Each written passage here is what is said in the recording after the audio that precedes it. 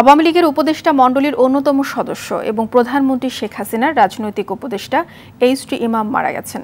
ইন্নানিল্লাহে ওয়া ইন্না ইলাহে রাজিউন। গেল মধ্যরাতে রাজধানীর সম্মিলিত সামরিক হাসপাতালে চিকিৎসাধীন অবস্থায় মারা যান তিনি। কিডনি জটিলতা সহ বার্ধক্যজনিত নানা অসুস্থতা নিয়ে গেল দুই সপ্তাহ ধরে হাসপাতালে ভর্তি ছিলেন এইচ টি ইমাম।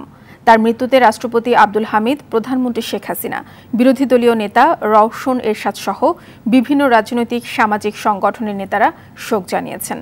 এদিকে সকাল এগারোটায় সিরাজগঞ্জের উল্লাপাড়ায় প্রথম জানাজার পর বেলা বারোটায় শ্রদ্ধা নিবেদনের জন্য তার মরদেহ রাখা হবে কেন্দ্রীয় শহীদ মিনারে। পরে বাদ আসর, গুলশান, আজাদ মসজিদে শেষ জানাজার পর তার মরদেহ বনানী কবরস্থানে দাফন করা হবে।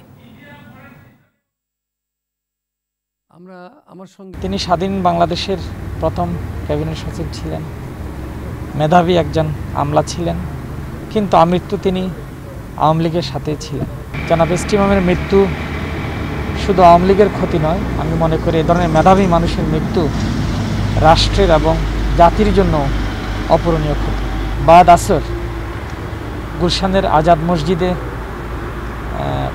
প্রয়াত জনাব ইমামের নামাজে জানাজা অনুষ্ঠিত হবে এবং পরে বনানী কবরস্থানে দাফন করা হবে।